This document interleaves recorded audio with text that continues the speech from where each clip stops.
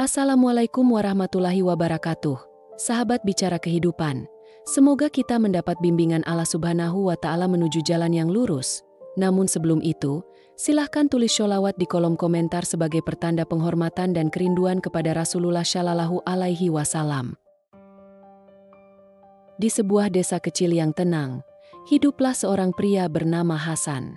Hasan dikenal sebagai sosok yang sederhana, hidupnya lurus, dan keluarganya pun biasa saja. Ia menikahi seorang perempuan bernama Siti, wanita yang tulus, penyayang, dan sangat sabar. Siti selalu mendukung Hasan di saat-saat sulit, terutama ketika mereka masih hidup dalam kekurangan. Hasan bekerja sebagai pedagang di pasar. Usaha ini bukanlah sesuatu yang besar, namun cukup untuk menghidupi mereka berdua. Setiap hari Siti memasak makanan sederhana untuk suaminya, menyiapkan kebutuhan rumah tangga dengan penuh cinta dan tanpa mengeluh. Siti selalu percaya bahwa rezeki sudah diatur oleh Allah, dan dengan sabar menjalani hidup mereka yang penuh keterbatasan. Namun, segalanya berubah ketika Hasan mulai terlibat dalam bisnis baru. Dia mulai mengenal orang-orang kaya dari kota, dan suatu hari, bisnisnya berkembang pesat. Dalam waktu yang singkat, Hasan menjadi orang yang sangat kaya. Rumahnya pun berubah megah. Perhiasan dan kendaraan mewah menjadi bagian dari kehidupannya sehari-hari. Sayangnya, kekayaan itu membawa perubahan pada hati Hasan. Ia mulai merasa bahwa kehidupannya yang dulu sederhana bersama Siti sudah tidak sejalan lagi dengan statusnya yang sekarang. Ia mulai menganggap Siti sebagai beban, seolah-olah pengorbanan dan cinta yang selama ini diberikan tidak ada artinya. Hasan merasa, dengan kekayaannya sekarang, ia berhak untuk mencari kebahagiaan yang baru. Akhirnya, pada suatu malam, tanpa banyak bicara, Hasan memutuskan untuk menceraikan Siti. Hatinya sudah dipenuhi keinginan untuk mencari istri baru, yang menurutnya lebih sesuai dengan status dan kekayaannya sekarang. Siti, dengan hati yang remuk redam, menerima keputusan tersebut dengan pasrah. Di depan pengadilan, air matanya jatuh, namun ia tetap berusaha tersenyum di hadapan Hasan. Setelah perceraian itu, Hasan pun menikahi seorang wanita muda yang cantik dari kota. Kehidupannya tampak sempurna. Ia memiliki segalanya, harta, istri muda, serta teman-teman kaya. Sementara itu, Siti kembali ke rumah kecil orang tuanya di desa. Ia menjalani hidup yang sederhana dan penuh keikhlasan, tanpa pernah membenci Hasan. Setiap hari ia berdoa, memohon agar Allah memberikan yang terbaik untuk dirinya. Tahun demi tahun berlalu. Tiga tahun kemudian, kehidupan Hasan mulai mengalami perubahan drastis. Ternyata, istri mudanya bukanlah sosok yang setia. Ia lebih tertarik pada harta Hasan daripada cinta atau kesetiaan. Perlahan-lahan, Harta Hasan habis karena pengelolaan yang buruk dan gaya hidup istrinya yang boros. Bisnisnya pun runtuh, dan dalam waktu singkat, Hasan jatuh miskin. Di saat itulah, istri mudanya meninggalkannya tanpa perasaan. Ia membawa pergi apa yang tersisa dari kekayaan Hasan, meninggalkan Hasan dalam kehancuran total. Hasan yang dulu begitu angkuh, kini hidup sendirian, tanpa harta, tanpa teman, dan tanpa keluarga. Satu malam, di tengah keputusasaan, Hasan teringat pada Siti. Ia sadar bahwa ia telah meninggalkan seseorang yang begitu tulus mencintainya, bahkan dalam keadaan paling sulit. Dengan hati yang hancur, ia memutuskan untuk kembali ke desa tempat Siti tinggal, berharap ada secerca harapan untuk memperbaiki kesalahannya. Namun, ketika Hasan sampai di rumah kecil Siti, ia melihat pemandangan yang menghentikan langkahnya. Di sana, di depan rumah itu, ada sebuah nisan sederhana. Nisan itu bertuliskan nama Siti. Hasan terdiam, tubuhnya gemetar. Air matanya jatuh. Rupanya, Siti telah meninggal dunia setahun yang lalu. Dalam kesedihan dan keikhlasan, Siti jatuh sakit dan tak mampu bertahan. Hasan berlutut di hadapan nisan itu, menangis sejadi-jadinya. Ia menyesali keputusannya, menyesali kekayaan yang pernah membuatnya buta akan cinta sejati. Tapi, semua sudah terlambat.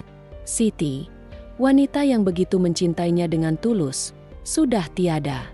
Kini, Hasan hanya bisa meratap di depan makam Siti, memohon ampun kepada Allah atas kesalahan besarnya. Maafkan aku, Siti, maafkan aku. Dalam tangis itu, Hasan menyadari satu hal, kekayaan dunia tidak akan pernah bisa menggantikan cinta yang tulus, dan penyesalan selalu datang terlambat. Setelah Hasan berlutut di depan makam Siti, tubuhnya gemetar hebat. Rasa sesal yang membebani hatinya terasa seperti beban yang tak bisa ia lepaskan. Ia teringat dengan jelas bagaimana dulu Siti selalu tersenyum menyambutnya pulang, bahkan di tengah himpitan kesulitan hidup. Hasan merenungi setiap momen yang ia habiskan bersama Siti.